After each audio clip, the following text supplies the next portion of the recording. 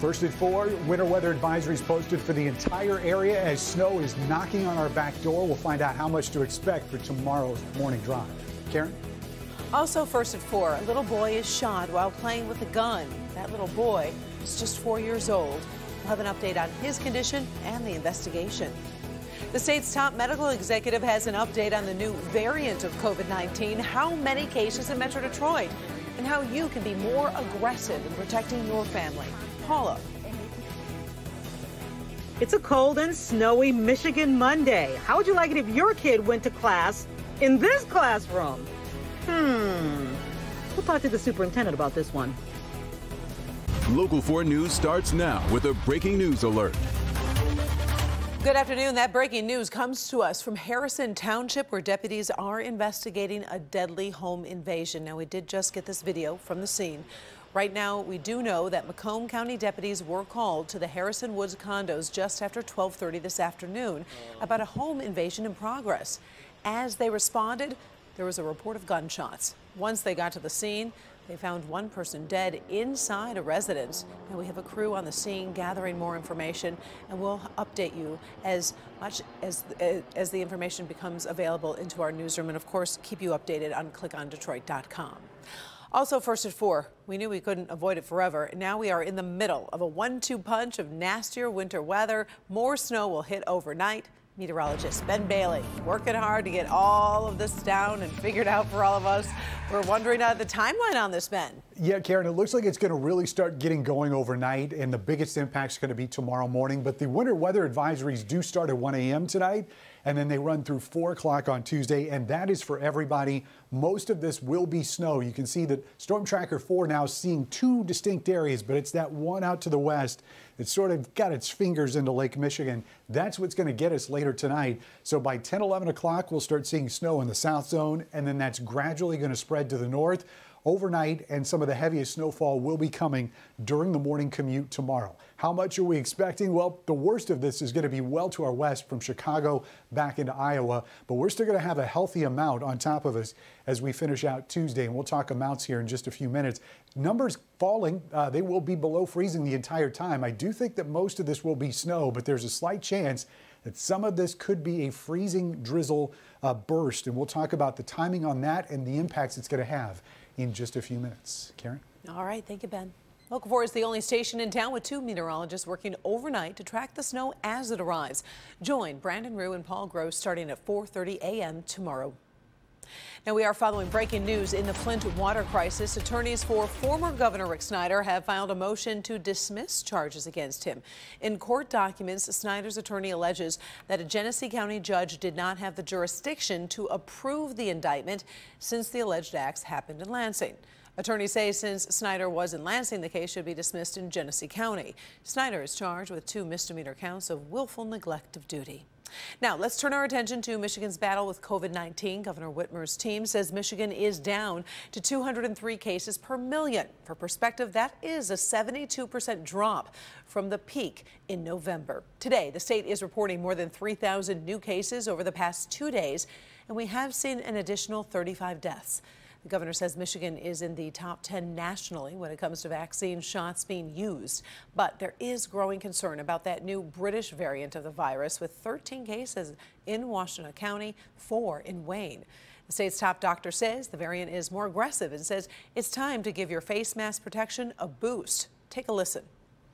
You want to at least wear a multiple layer cloth mask. Masks that have a single layer are not as protective. You can also wear a KN95 mask or a multiple layer disposable mask. You can also wear a face shield uh, over your mask for additional protection.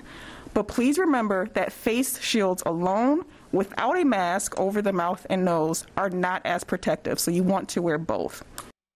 Now we'll have much more on the new variant and its local impact. New at 5, we answer some of the most common questions you have, and then at 6, we'll expand on that new face mask advice you just heard from Dr. Khaldun and how it might change your daily routine. A four-year-old boy is in the hospital right now after police say he accidentally shot himself on the city's west side. This happened at a home on Hubbell near Lyndon around 11 o'clock last night. Police tell us the boy found the gun and shot himself. Right now, he's in stable condition. It's not known who the gun belongs to. This is the second shooting involving a child in the last week. Police say an 18 month old got a hold of a gun and shot and killed his five year old cousin.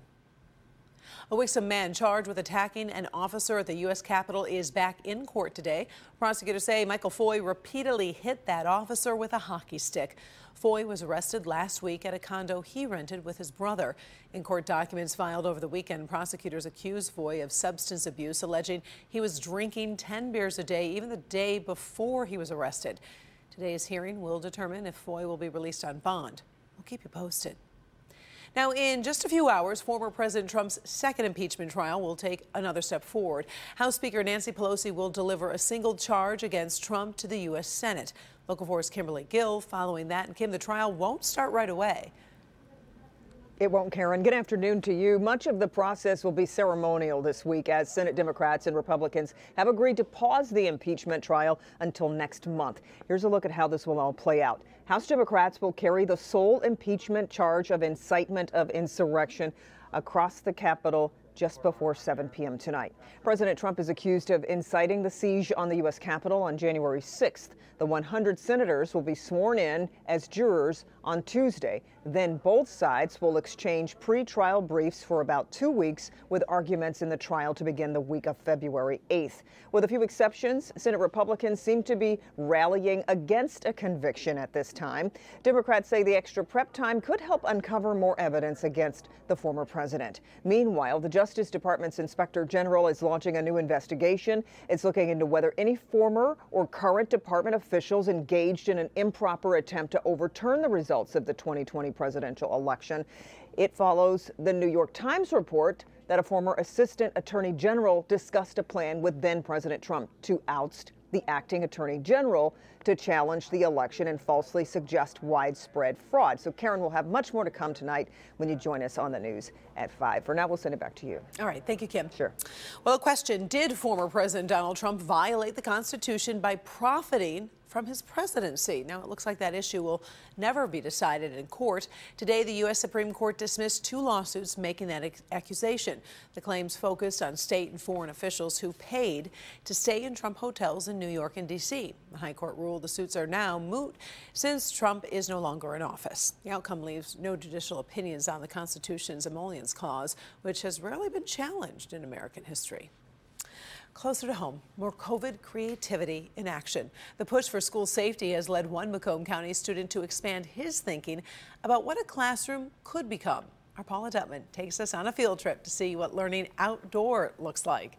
Hey, Paula. Hey, Karen. Yeah, you know what? It's Michigan. We're Michiganders. It gets cold outside, right? But how is easy is it to learn outside? So Chippewa Valley Schools, uh, their primary kids went back last week. Today, secondary kids came back for face-to-face in-person learning, and they're probably going to say to their teachers, hey, what's that over there? As schools try to figure out how to outsmart COVID and get children back to in-person learning, one Macomb County student is already ahead in that game. This is Mohawk Elementary School in the Chippewa Valley School District, and this is the outdoor classroom space designed by 17 year old Boy Scout and Mohawk alum Nate Lyons. Hopefully, like when it's a good day, teachers can come out here and like for fresh air if kids are feeling cramped or if it's just, I don't know, kind of eh, in classrooms. They can come out here and just enjoy fresh air. While the project was an Eagle Scout endeavor, the Net Net is a viable space for children to learn. So I knew I wanted to do something here just because this is where I spent like my first years of school in the district. I went to middle school just across the street uh, so I wanted to give something back to Mohawk. Kids love to move to different locations to learn, and I just see this as giving them more variety of, of, of, a learning space with the school.